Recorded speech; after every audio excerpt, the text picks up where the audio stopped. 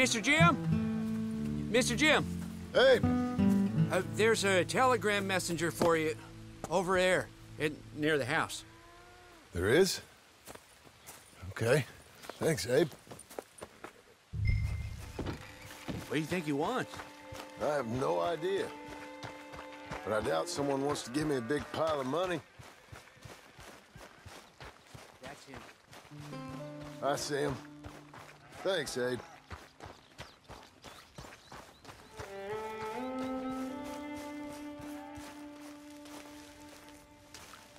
Excuse me, mister. I'm Jim Milton. Heard you had a telegram for me? Yes, here. Sign there. Thank you. Huh? Jim, stop. If you're the JM I know, stop. It's Sadie Adler. I've got something to discuss.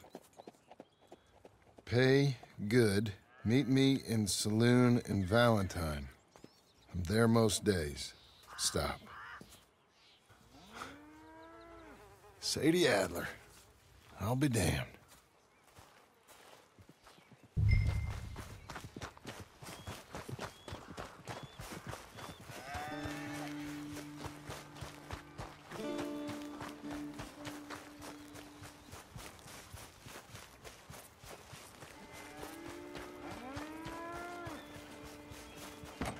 Abigail.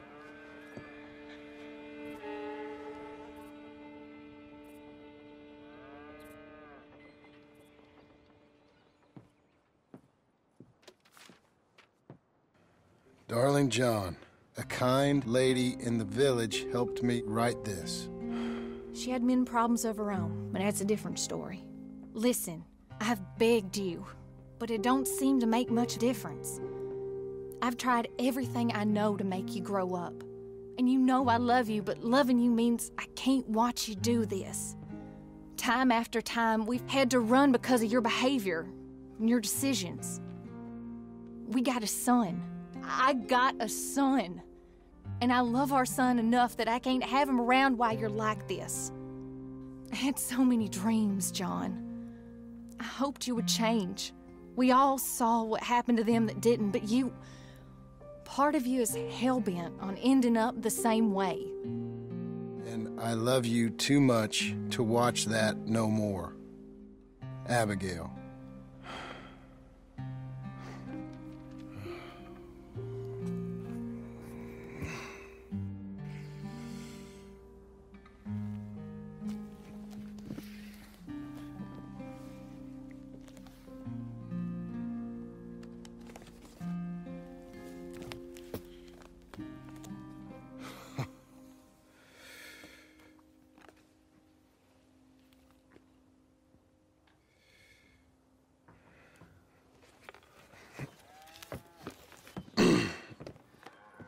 Where's the wife, Milton?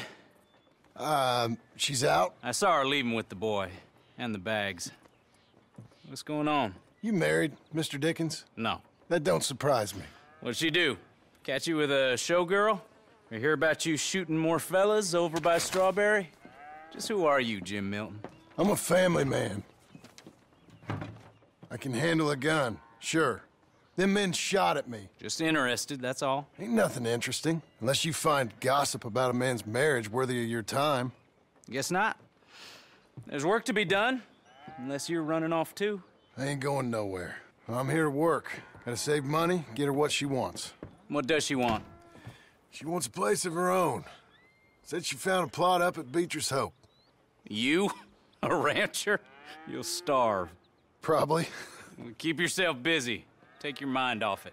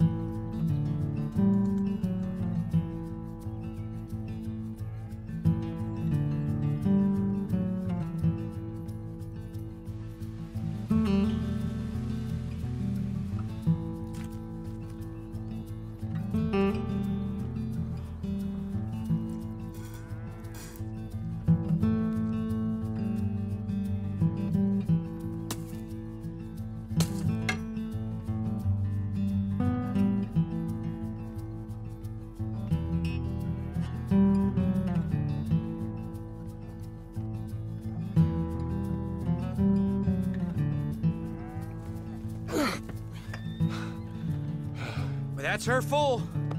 Hey, you know, I was wrong about you. Turned into a fine worker, Jim Milton. Oh, thank you. Means a lot.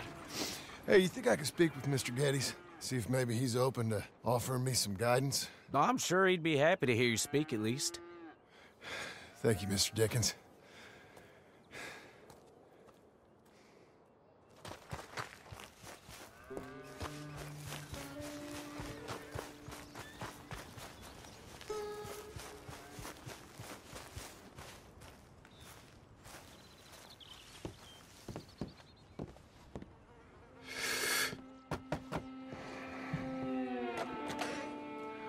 Hey, son.